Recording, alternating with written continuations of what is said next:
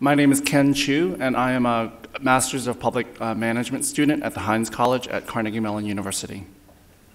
Hi, I'm Renee Cuenca. I'm a senior undergrad student studying environmental policy and architecture. Hello, my name is Eleni Katrini, and I'm pursuing a PhD in architecture. Hi, my name is Carly Turkley, and I'm a graduate student in the Master of Public Management at Heinz College. Hi there, my name is Sean Neil Campbell, and I'm a Public Policy and Management Master's student at the Heinz College.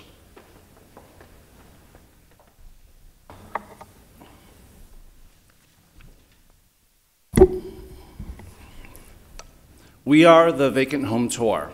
So we conceived of and designed this program in the fall of 2014 to address blight in Wilkinsburg. Wilkinsburg is a first ring suburb of Pittsburgh, Pennsylvania. Today, we'll talk about what blight is and how it's affecting this community. We'll talk about our solution and how we arrived at it. We'll talk about why we think right now is the perfect time for this solution. We'll talk about what we've been doing to implement this program, because in just a few short weeks, on Saturday, May 9th, Wilkinsburg will host the first ever vacant home tour. And finally, we'll talk about the impacts and outcomes we think that we'll achieve with this program. To begin, blight, by definition, is a disease. It's something that makes plants dry up and die. As it pertains to buildings and neighborhoods, this is what it looks like. In Wilkinsburg, roughly 20%, or about 1,800 housing units, are vacant and abandoned. In 2013, the Delta Development Group, funded by the Pittsburgh Foundation, published an in depth study on the financial and social costs of blight to the greater Pittsburgh region. And what they found and estimated was that the cost to just Wilkinsburg alone was roughly $26.6 million. Now, keep in mind, there are only about 15,000 residents in this community. Socially, it speaks of the broken window theory, where a window in a building, broken and left unattended, begins a cycle of decline for the community. It starts with increased criminal activity, fracturization of the community's identity and pride, and degradation of its ability to attract new residents. Since 1950, Wilkinsburg has lost almost 50% of its population, Clearly, for this community, blight has been devastating. As Ken said, the impact of blight is very substantial, but an important question that we had as a team was why to look at this problem now? Blight has been an issue affecting a number of American cities from Detroit to Pittsburgh, and there are actually a variety of policy tools out there to address blight. Ideas include demolition, the reuse of vacant land, transforming abandoned buildings in new and creative ways, and even economic incentives to get and acquire vacant homes. Even in Wilkinsburg, which is a borough separate from the city of Pittsburgh, there are tax abatement programs, the Vacant Property Recovery Program, and even bidding at an auction to acquire a vacant home. So, um, but then we started thinking and asking many more questions. Do these tools really provide new and innovative models to think about blight? And do they ensure that the existing community's needs are met and that they are empowered? Sure, all these tools aid the process of blight, but only when someone has already made the decision to do something about blight. In other words, there are policy tools out there that target prescriptive change, but they don't engage in a long term cultural change in the perception of blight nor do they engage to empower the community. So clearly we saw a gap. Um, so the question that we really had was how do we compel people to actively want to do something about blight, and how do we involve them as agents of change themselves for the uh, positive change in their community? Rory Sutherland stated that the power of reframing things cannot be overstated. The implication being that sometimes the solution to a problem can be as simple as reframing the problem as something other than a problem. Can blight be bright? Can vacant be vibrant? For our policy approach, we met with members of the community, we toured their neighborhood, and we heard their stories. And we found out that while many of them struggle with the physical decay of their neighborhood, they also talked proudly about community, about their shared community resources, and about a time when people once lived in these homes. So this is how we came up with the vacant home tour. We wanted to showcase the vacant buildings of the neighborhood in order for people to discover the values of these homes through both their narratives and those of the people who once lived in them. We hope that this walk-in tour of vacant buildings will be an inspiration for conversation and will bring positive attention to the neighborhood. There are four main components to the vacant home tour, the first one being the docent program. And because the docent program is the foundation of the vacant home tour, let me get to a little bit more detail. We asked the community to help us plan the tour and to volunteer as a house docent, which is basically a tour guide. As a docent, they would sponsor a stop on the tour and they would act as the narrator for the home. We're actively working with them to do the research on the history of those buildings and to collect all the necessary artifacts as a preparation for the tour. We believe that this component will build community agency defining, in defining the future of Wilkinsburg and it will rebuild the community pride that has been lost. The second one is mapping the narrative that actually shows the impact of the lives of the families that lived in those homes in the surrounding neighborhood through a series of posters and banners with historic highlights. Through the Looking Glass is a tool that helps participants really visualize on spot what those buildings look like in the past and what they might look like in the future. Through a series of old photos printed on uh, transparencies, people can overlay and see what those buildings look like. The research workshop provides participants with the information and existing tools towards transforming tour properties. Uh, specialists and residents with experience in acquisition of vacant homes will speak and help demystify the process for potential new residents in Wilkinsburg.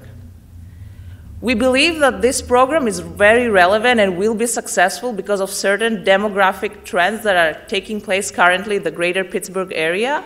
After decades of decline, the Pittsburgh population not only is increasing, but it's getting younger and more educated.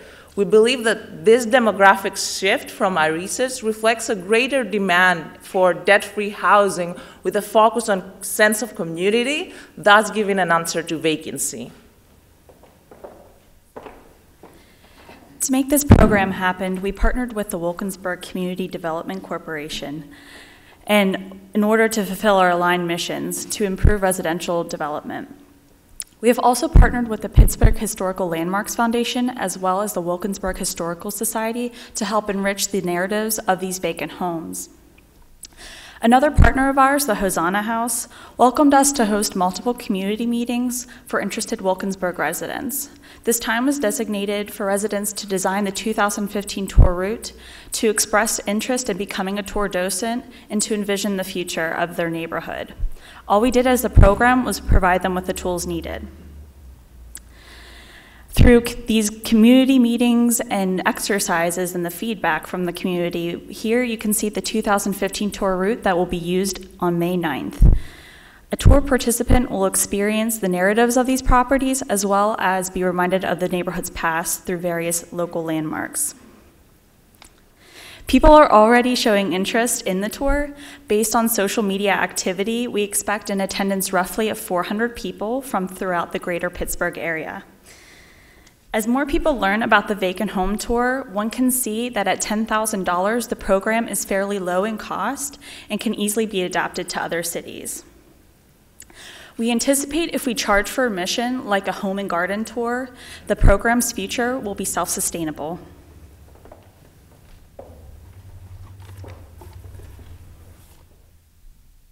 How will we measure the long term success of our program? The Vacant Home Tour has future positive financial and social impact. If only 10% of our anticipated 400 tour participants were to attend the Tools and Resource Workshop, we would increase the number of inquiries the Wilkinsburg CDC receives regarding vacant properties and the Vacant Property Recovery Program by 20%. Transitioning just one home has a potential cost saving. Oh, the nearly to the nearly 1,800 vacant properties, vacant and abandoned properties, cost the borough a whopping $26.6 million a year. Transitioning just one home has a potential cost savings of $14,000 per year, per, per home. Just two weeks ago, the borough, with the county, asked to partner with us by preparing and, preparing and packaging two of the homes on our existing tour. For transition and ease through the Vacant Property Recovery Program. For social impact, we ask community members to imagine the imagine what Wilkinsburg would be like five years from now after the program is implemented. And if you bring yourself to our middle example, you see a front page cover story titled Final Five Vacancy a Problem No More as People Flock to Wilkinsburg for the final remaining for the final vacant properties. Through our activities, community members are through our activities, community members are through our activities, community members realize that Wilkinsburg is a place of opportunity. By engaging with the vacant home tour, Community members are not given tools to do what we think they should do. We empower them to do what they think they should do. And with that, we would like to thank you and open it for questions that you may have.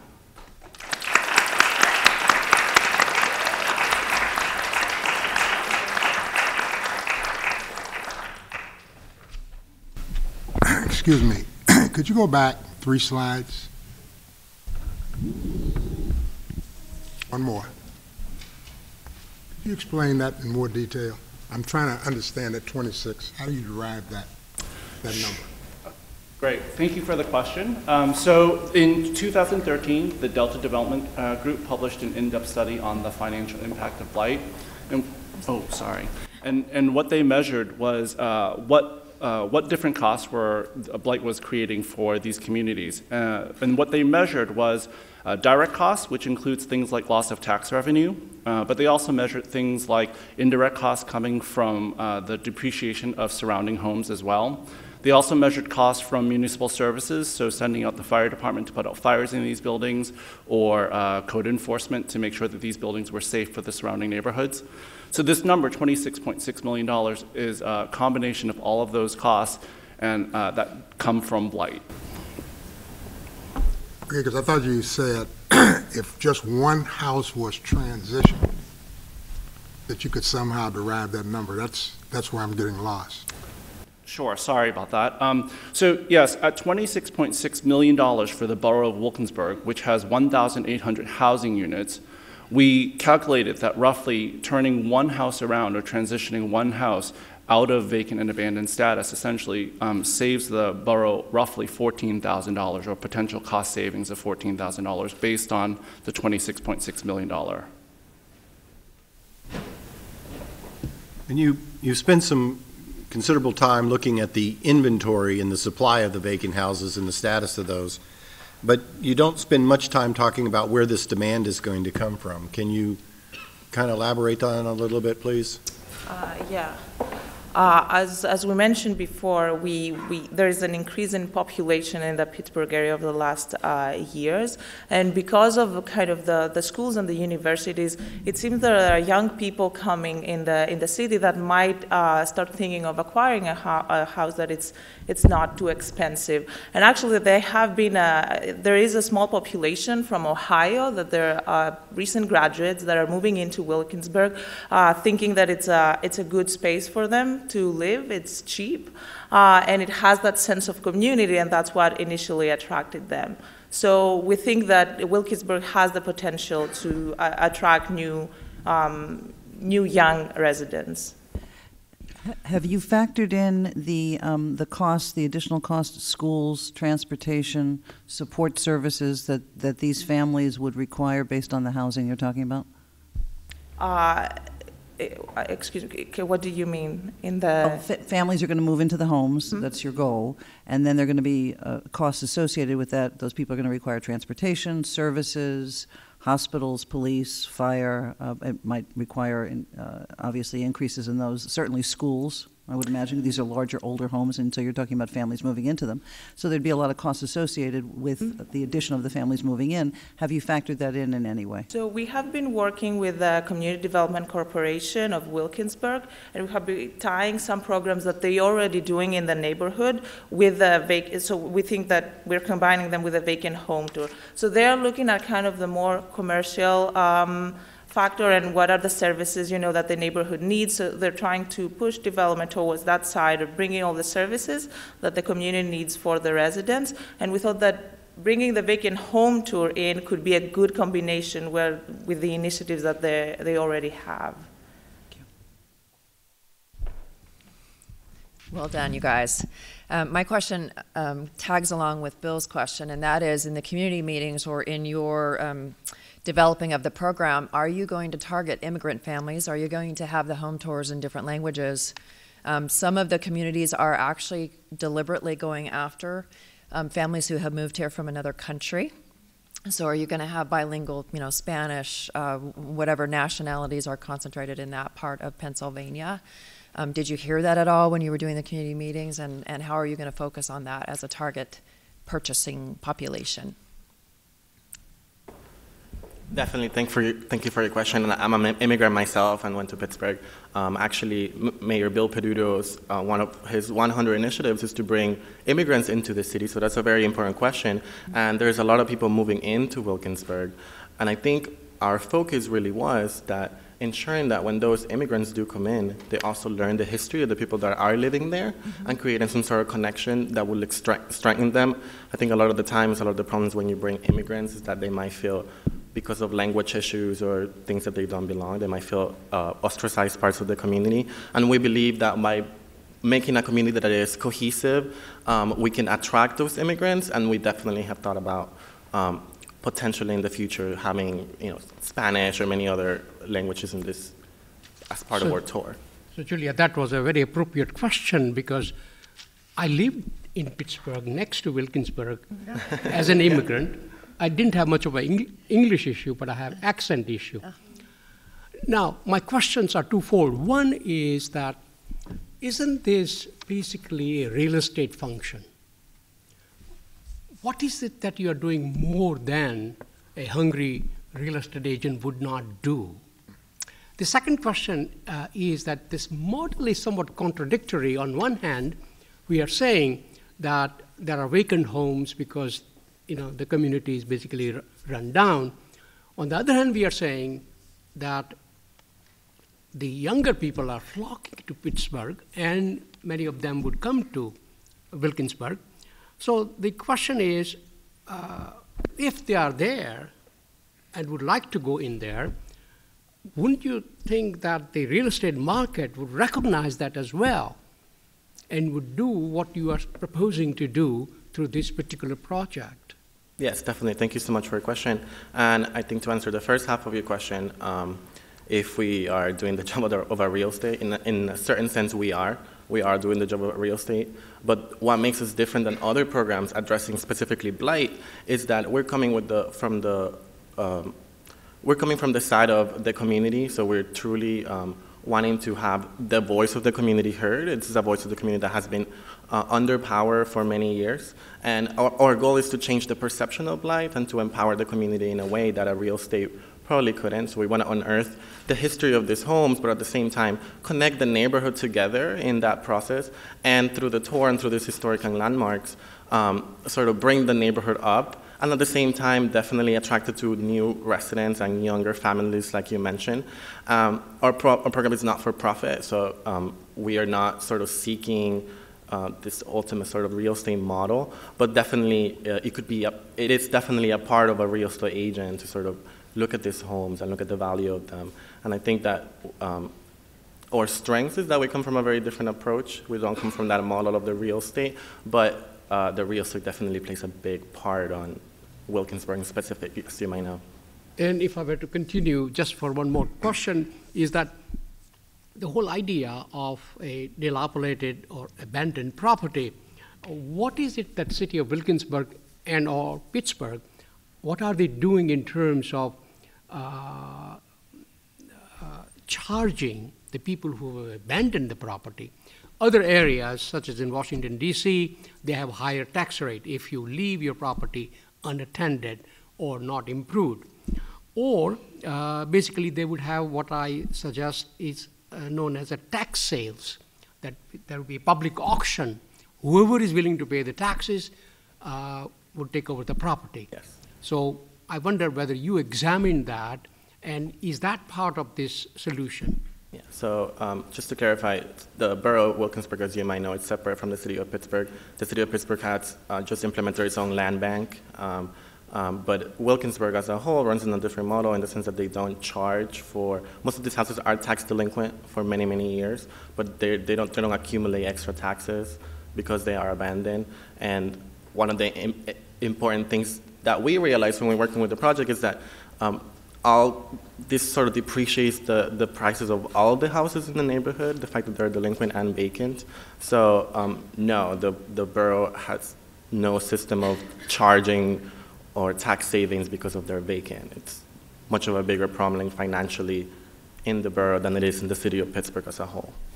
I want to follow up on Dr. Gandhi's question.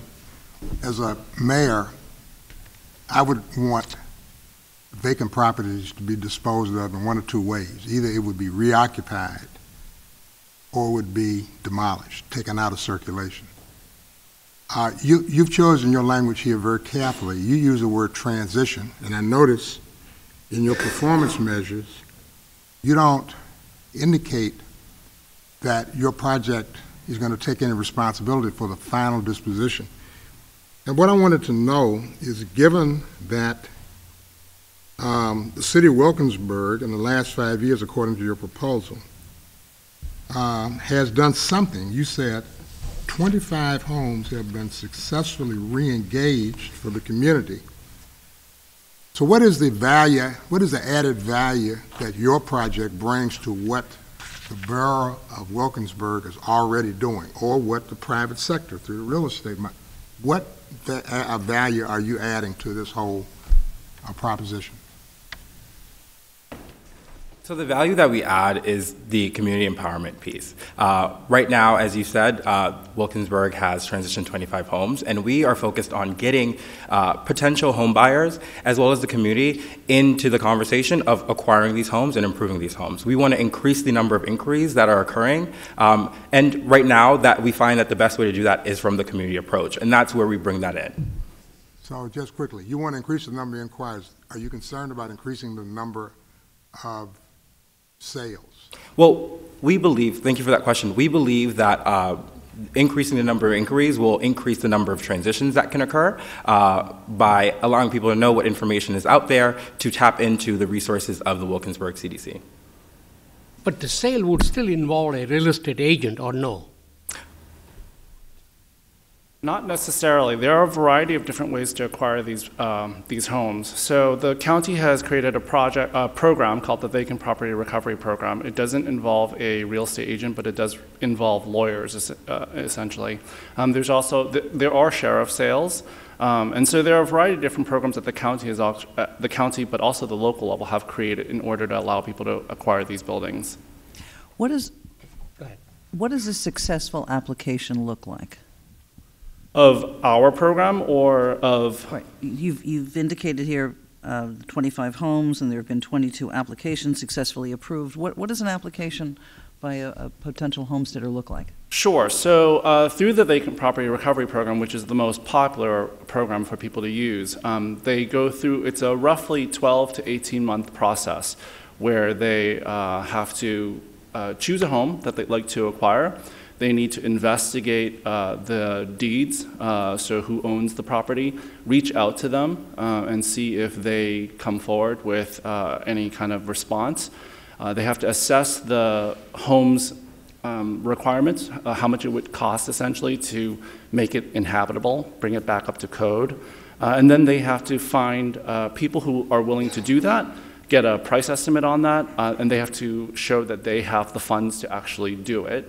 Uh, and then they uh, make the application to the county, and the county goes through the process of uh, vetting all of that and then approving that, that, uh, that transference. And you said it takes about 18 months? Roughly between 12 and 18 months. Aren't you worried about losing people in that, in that time span?